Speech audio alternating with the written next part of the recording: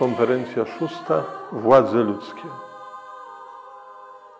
Skoro człowiek składa się z ciała i nieśmiertelnej duszy, to możemy w sobie dostrzec różne poziomy, które razem tworzą jedną całość.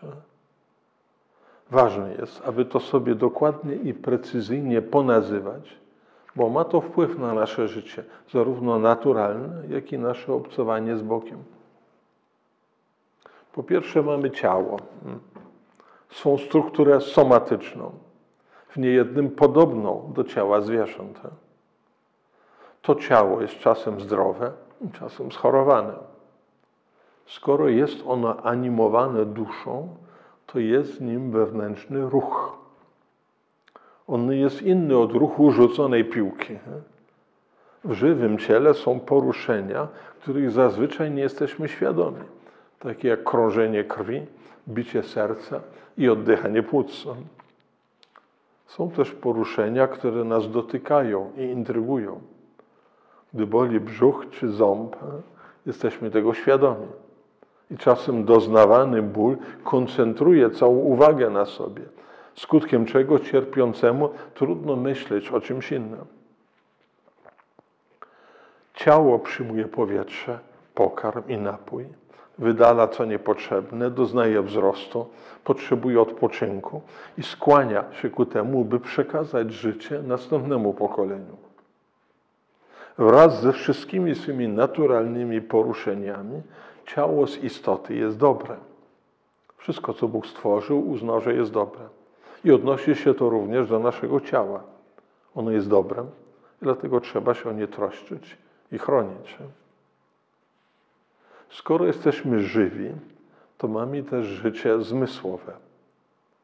Zmysły są cielesne, ale odbijają się echem w naszej psychice. Dlatego odróżniamy je od czysto somatycznych poruszeń. Nie tylko my mamy zmysły, zwierzęta też się mają i niekiedy są one silniejsze od naszych. U zwierząt zmysły są autonomiczne i zasadniczo egocentryczne gdyż nie posiadają one władz duchowych. Zwierzę postrzega tą kość, to zagrożenie, ale nie ma pojęć ogólnych. Pies słyszy dźwięki, ale nie potrafi docenić i ocenić muzyki. Wyróżniamy dwa zespoły zmysłów. Jedne są poznawcze, a drugie są pożądawcze. Zmysły poznawcze poznają konkretne przedmioty. A zmysły pożądawcze, czyli uczucia lub też emocje, prowokują ruch ku albo od poznanych przedmiotów. Zmysły poznawcze dzielą się jeszcze na zewnętrzne i wewnętrzne. Zewnętrzne zmysły to wzrok, słuch, smak, węch i dotyk. Dzisiaj fizjologia bada zmysłowe reakcje i może o nich wiele powiedzieć. Wiemy, że różne części ciała inaczej reagują na dotyk. Wiemy też, że u zwierząt zmysły, na przykład węchu, są bogatsze niż u człowieka. Choć współczesna wiedza jest pogłębiona, to nadal to klasyczne wyróżnienie pięciu zewnętrznych zmysłów jest istotne i zewnętrzne poznawcze zmysły posługują się organem cielesnym, ale nie są z nim tożsame. Gdy Beethoven ogłuch, to nie słyszał muzyki, ale nadal komponował. Rozwinięty zmysł słuchu był w nim nadal, chociaż uszy miał chore. Wyróżniamy też cztery wewnętrzne, poznawcze zmysły. Są nimi zmysł wspólny, pamięć, wyobraźnia oraz zmysłowy osąd o użyteczności. Zmysł wspólny zbiera razem doznania zewnętrznych zmysłów wzroku, słuchu, węchu i tworzy z nich jeden wewnętrzny obraz. Pamięć gromadzi wspomnienia o doznaniach i je przechowuje Natomiast wyobraźnia wydobywa jakby z magazynu i umiejscawia w psychice. A zmysłowy osąd o użyteczności, który może być nazwany instynktem, Od razu zmysłowo rozeznaje, czy dana rzecz jest pożyteczna, czy też jest zagrożeniem. Zwierzęta mają te cztery wewnętrzne poznawcze zmysły. Potrafił, potrafił zestawić zmysłowe poznanie w jedną całość i odpowiednio reagują. Mają one też zmysłową pamięć. Mówi się, że słonie nie zapominają o doznanej krzywdzie. Zwierzęta też mają wyobraźnię i zdarza im się, że śnią, ale nie mają one wyobraźni twórczej. My możemy zestawić doznania i wyobrazić sobie coś, czegośmy nigdy nie widzieli. Możemy sobie wyobrazić szczyty górskie e, wykonane z czekolady. Rozwinięta wyobraźnia służy w sztuce, w poezji, w literaturze. Czwarty zmysł wewnętrzny, jakim jest instynkt, czyli osąd użyteczności, pobudza uczucia. I łacina inaczej określa ten zmysł, gdy dotyczy on zwierząt, inaczej w przypadku ludzi. U zwierząt jest on nazwany vis estimativa, bo dzięki tej władzy zwierzę instynktownie ocenia, co jest pożyteczne, co jest pokarmem, co może służyć jako budulec do gniazda, a co stanowi zagrożenie. Owca, która nigdy nie spotkała się z wilkiem, natychmiast ucieka, gdy pojawi się on na horyzoncie. U ludzi ten zmysłowy osąd o użyteczności jest nazwany vis cogitativa, ponieważ współdziała on z poznaniem rozumowym. Człowiek też instynktownie reaguje na to, co jest przyjemne czy też groźne. Gdy z zakrętu nagle pojawi się szybki samochód, człowiek instynktownie odskoczy, dzięki czemu uchroni swoje życie. W wyniku doświadczenia i zewnętrznych wpływów osąd o użyteczności może być wdrożony w określonym kierunku. Dzięki temu zwierzęta są zadomowione przez człowieka, czy też są przygotowane do występu w cyrku reagują one wtedy nie tak, jak e, do tego skłania ich natura, ale tak, jak człowiek sobie to zażyczył. Również u ludzi instynktowny osąd użyteczności skłania w określonym kierunku. I to może być zgodne z naturą i wtedy ułatwia wybór dobra, ale też może być z nią sprzeczne. Zwłaszcza gdy ten osąd został wdrożony źle przez niedobre nawyki, obyczaje lub powtarzające się grzechy. Ta instynktowna skłonność jest umiejscowiona w ciele, a właściwie w mózgu. W nim wyrabiają się pierwotne, uprzednie wobec rozumu skłonności i oceny moralne. I gdy zmysłowy osąd użyteczności został trwale ukierunkowany ku temu, co jest sprzeczne z naturalnym dobrem, Człowiek może się bronić przed tym, a jednak wciąż może doświadczać tej skłonności. I tak rodzą się uzależnienia. Bywa, że ludzie, którzy wyrośli w rodzinie alkoholika, odczuwają odrazem do pijaństwa. I pomimo tego w momencie stresu instynktownie sięgają po alkohol.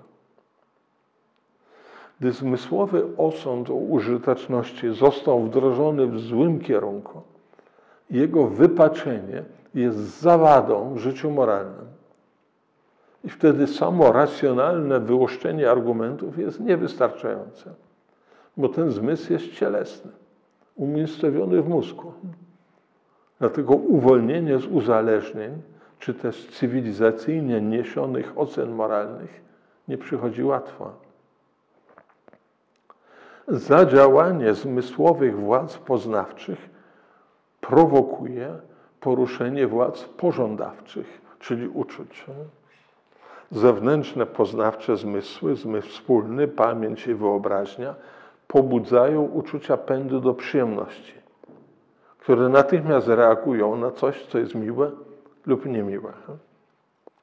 Natomiast zmysłowy osąd o użyteczności pobudza uczucia pędu do walki i ludzie, i zwierzęta doświadczamy emocji. Zwierzę też czasem się cieszy, albo się boi, albo reaguje gniewem. Ze swej istoty wszystkie uczucia są z gruntu dobre, nawet uczucie awersji i gniewu. To, że odczuwamy radość czy smutek, lęk czy gniew, jest czymś normalnym, a więc zasadniczo dobrym. Natomiast pytanie jest, co my z tym robimy. U ludzi uczucia współpracują z władzami duchowymi, czyli z rozumem i wolą. I w strukturze ludzkich uczuć jest wpisana podatność na tą współpracę. Ona nie jest jakąś deformacją uczuć, tylko czymś naturalnym. Gdy rozum, idąc za wskazaniem lekarza, orzeka, iż należy unikać słodyczy, to z czasem pragnienie się temu poddaje. I to jest zdrowe i normalne. Tak jest, ponieważ nie ma sprzeczności pomiędzy obiektywnym ładem poznawanym przez rozum oraz uczuciami. I ten ład, i te uczucia pochodzą od Stwórcy naszej natury, a więc ich współgranie razem jest zarazem normalne i możliwe. Chociaż w wyniku nawyków i grzechów mamy niekiedy z tym trudność. My ludzie różnimy się od zwierząt tym, że ponad naszym życiem zmysłowym mamy władze duchowe, rozumu i woli, które w swej istocie są niematerialne, ale są one realne, istniejące. One są zakorzenione w istocie naszej duszy. Rośliny i zwierzęta nie mają władz duchowych, a my je mamy. Teorie negujące duchową odrębność człowieka, twierdzące, że w istocie nie różnimy się od zwierząt, są błędne. Prawdą jest, że zwierzęta gromadzą doświadczenie zmysłowe i czują, bo mają zmysły, ale my do tego jeszcze myślimy i pragniemy dobra ogólnego. Zwierzęta nie piszą encyklopedii, nie tworzą pojęć ogólnych, nie pragną dóbr duchowych, a nam zależy na prawdziwym dobru i potrafimy je wyróżniać i nazywać. Sięgamy poza rzeczywistość materialną i to nas rozwija. Budujemy ludzkie więzi, które są nie tylko emocjonalne, ale także racjonalne, oparte na prawdzie. Ludzka miłość to nie tylko doznane zmysły, ale także wartości, które rozpoznajemy i którymi potrafimy się dzielić, o nie się spierać. I to one nas najgłębiej łączą. Dzięki temu człowiek jest osobą. Te wszystkie władze cielesne, psychiczne i duchowe posiadamy z natury. Możemy zgodnie z prawdą je w sobie rozpoznać i możemy o nich w sposób racjonalny porozmawiać. Nie jest to wtedy tylko dzielenie się naszymi subiektywnymi odczuciami czy wrażeniami, tylko opisanie naszej obiektywnie istniejącej natury. Więc mówiąc o strukturze człowieka, jego władz, przeprowadzamy rozumowanie filozoficzne, które jest niezależne od wiary. Natomiast objawienia wiemy, że nasza ludzka natura jest otoczona szczególną Bożą troską.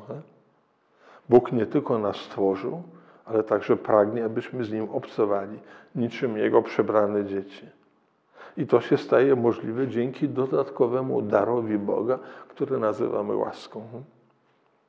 A więc ponad naszym cielesnym, zmysłowym i duchowym poziomem jest jeszcze dodatkowy poziom życia nadprzyrodzonego, które z dobroci Bożej zostało nam naddane i które nas od wewnątrz przenika. O tym też można pomyśleć i porozmawiać, ale o tym wiemy jedynie z Bożego objawienia, które przyjmujemy wiarą, którą też od Boga otrzymaliśmy. Na każdym poziomie naszego życia cielesnym, zmysłowym, emocjonalnym, duchowym, a więc intelektualnym i wolitywnym, oraz na poziomie łaski jest życie, a więc jest ruch i dynamika zmierzająca do przekazania tego życia. I to jest dobre. Na każdym poziomie. Nasze ciało wzrasta, jest poruszane przez popęd seksualny, z czasem się starzeje. Nasze poznanie zmysłowe wyrywa nas z, z siebie ku różnym poznanym przedmiotom i prowokuje chęć podzielenia się naszymi fascynacjami. Nasze emocje nas pociągają, czy też powodują odrazę lub oburzenie wobec przykrych doznań. Euforia czy lęk przenoszą się z jednej osoby na drugą. Nasze życie duchowe budzi intelektualną ciekawość i wolę przekazania poznanej wiedzy o prawdziwym, najważniejszym dobru. I życie nadprzyrodzone też cechuje się wewnętrzną dynamiką. Ono może wzrastać i może wciągać innych w obcowanie z Bogiem i z Jego mądrą miłością, i może też nie wzrastać, tkwiąc w zastoju. Na każdym z tych poziomów jest dynamika, jest ruch. I to jest dobre. Źle jest, gdy pojawia się zastój. I życie na którymkolwiek poziomie jest zastopowane, stłumione. Lepiej jest, gdy cenimy te naturalne dynamizmy, nawet jeżeli zdarza się, że na niektórych poziomach pojawia się nieład, bo coś nas za bardzo wciągnęło, albo coś uległo zastygnięciu. Życie nadprzyrodzone, dane z łaski, ma tą właściwość, że od wewnątrz może wpływać na każdy z tych poziomów, kierując je ku prawdziwemu dobru. I to się wtedy dokonuje spokojnie, łagodnie, bez represji, bez amputowania czegokolwiek w nas.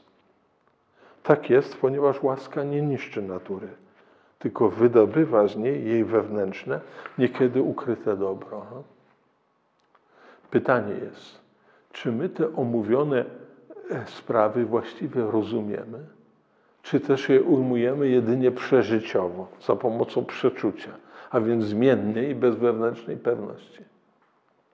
Aby życie było autentyczne, trzeba te wszystkie poziomy w sobie razem zgrać bez niszczenia, czy też pomijania czegokolwiek. Dlatego pomyślenie, postudiowanie, czy też poczytanie o tych sprawach jest niezwykle ważne. Pozwala ono wtedy wszystko sobie w głowie poukładać, dzięki czemu życie osobowe staje się sensowne, autentyczne i wewnętrznie bogate.